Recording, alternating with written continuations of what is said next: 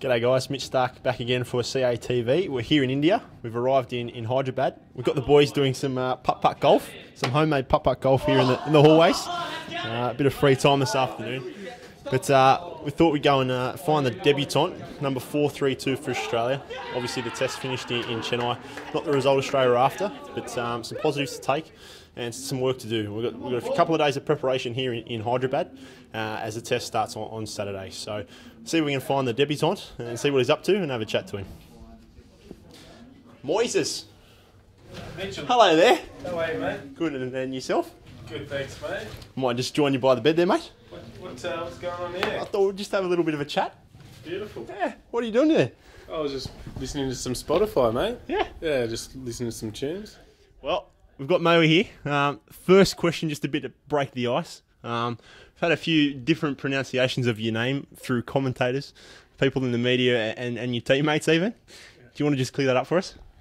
Uh, I think, I'm pretty sure it's Moses Henriques, but uh, I've heard of so many variations now that I'm fairly confused as well. We'll probably keep uh, being pronounced the wrong way anyway, but um, there you go. That's how it is. How is it, Mitch? How's it go? I- I'm just going to stick with Moses Enriquez. Yeah, pretty good. That's pretty Yeah, good. Well yeah, good. All right, uh, Australian Test player at number four three two. Uh, how's it feel to, to be presented your bag your own cap? Who presented your cap, and, and probably some of your emotions getting that cap? Yeah, uh, Steve Rixon was was the man to present the cap, um, and you know it was pretty it was pretty important. I think I- I've known Stumper for well, I think since I was about ten years old. So um, I played cricket with uh, his son Dan in a lot in junior cricket and stuff like that, and.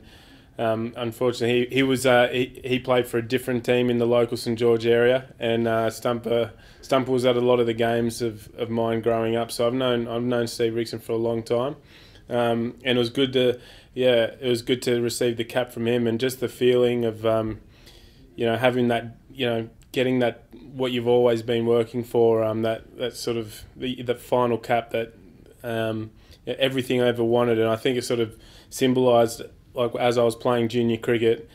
Um, he was that one guy in that local area that I knew had played for Australia, and sort of I had that goal of one day hoping to get that baggy green, and, and it was good that he was the man to present it in the end. Beautiful, and back to back fifties on debut. Your first Test wicket. Um, how was that that that feeling getting those that, that wicket and, and scoring those runs? Important runs for us as well.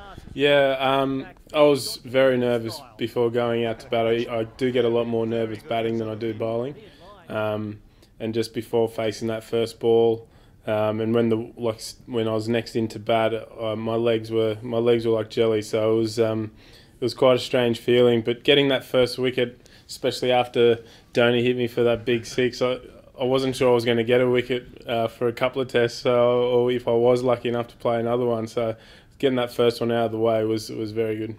the, the wickets and runs that no one can take away from you. Um, obviously, we're, we've come away from that that uh, that game with on the, the wrong end of the result, but um, some hard work there, so a hard wicket. What do you make of the wicket, and, and some positives you've taken out of that game?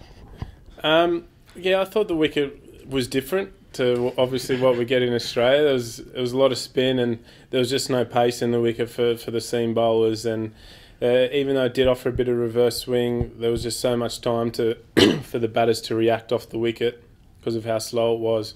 So um, it was obviously very difficult for the seam bowlers, and you saw that. You know, that I think in the second innings, India only bowled three three overs of pace in out of ninety odd overs. So uh, that's a remarkable stat in itself. And um, yeah, I, I really enjoyed the conditions and the challenge of com- com- something completely different to back home. And um, it, it, was just a lot of fun to be out there in the middle. And I had a lot of I had a lot of fun batting. Um, and you know, I was lucky enough to get balls that bounce up and hit my glove that just went straight to ground. And you know, some other guys uh, hit the glove and went in the air. But you know, I guess uh, it was a bit of beginner's luck there for me.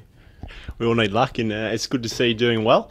Obviously, someone that uh, I've, I've looked up to at New South Wales, and it's, it's great to, to share your debut with you. But um, now we're here in Hyderabad. Obviously, a couple of days of preparation now before the next test.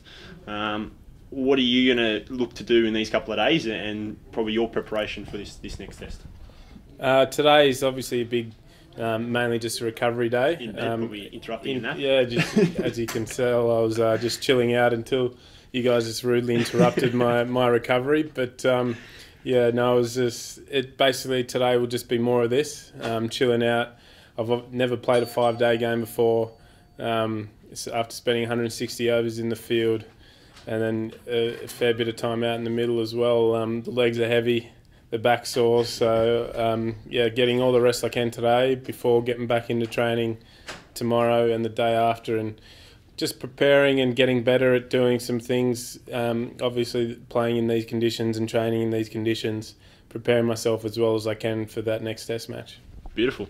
Well, mate, thanks for joining us. Thanks for having me. you me. definitely offered more than Nathan Lyon did in his blog. Um, so thanks for joining us again here on Cricket Australia TV. Make sure you tune in to www.cricket.com.au to follow the rest of the tour from India, and I'll be back with another blog probably later in the week. Thanks, guys.